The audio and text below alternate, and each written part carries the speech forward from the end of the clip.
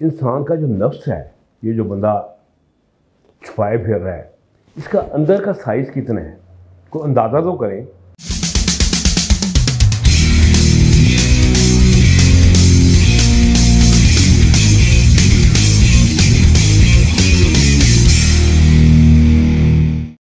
बसमीम मेरा नाम डॉक्टर मोहम्मद हारिस खान बरकी है।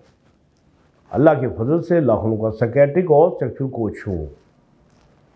इंसान की हमेशा ये ख्वाहिश रही है कि वो इंसान दूसरे का चेहरा देख के उसकी शख्सियत का और उसके अंदरूनी सोच का अंदाज़ा लगा सके।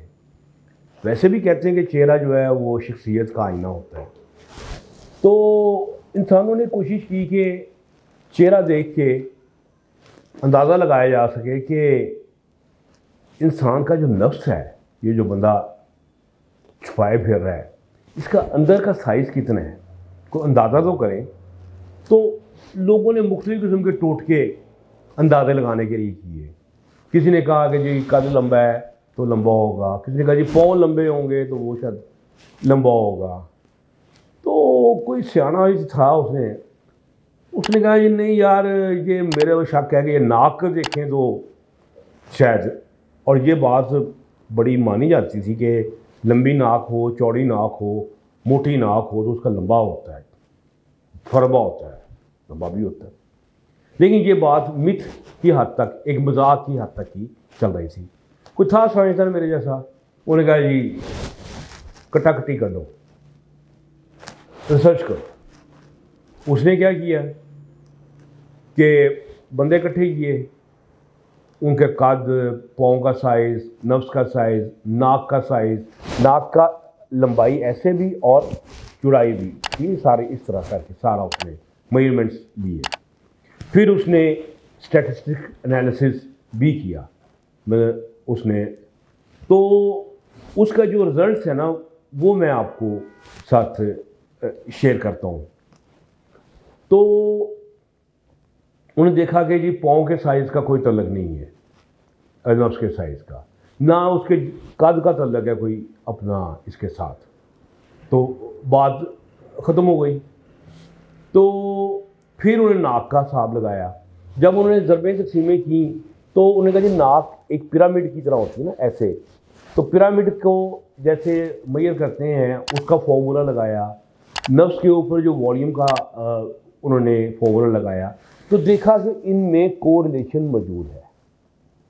कि नाक का लंबा होना, चौड़ा होना, बड़ा होना, ये चीज़ की अलामत है कि इस बंदे का जो साइज़ है, वो भी बड़ा है। यानी कि सिर्फ़ नाक ऐसे नहीं, ये इसमें नाक की चौड़ाई भी शामिल हो जाती है। टोटल नाक का जो वॉल्यूम है ना, इसका एक तलक है।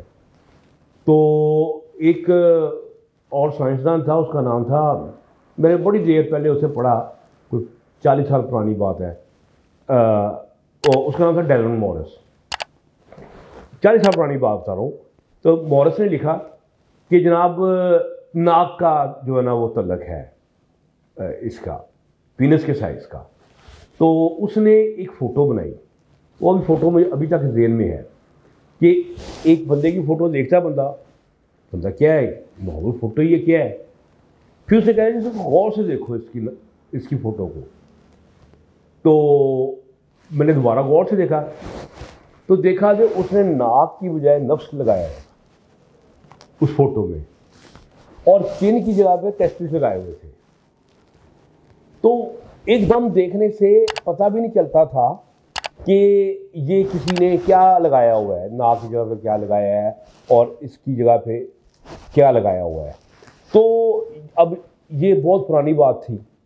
उस वक्त तक भी ये बात साइंटिफिकली किसी ने स्टैटिस्टिकली मैयर नहीं की थी। अब की दुनिया में किसी साइंसदान ने उठ के ये मेज़रमेंट की हैं और उसने देखा है जी कोरिलेशन एग्जिस्ट करता है।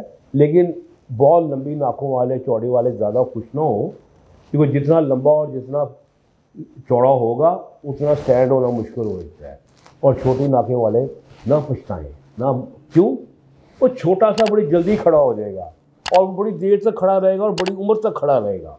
और बड़े वाले का तो वैसे ही जाना है, जल्दी। क्योंकि वज़न होता है ना उसका ब्लड बहुत चाहिए होता है उठने के लिए तो आप दिल छोटा ना करें। ठीक है, छोटे पीनस वाले। तो उम्मीद है कि मेरी ये वीडियो पसंद आई होगी। मेरे चैनल को सब्सक्राइब करें।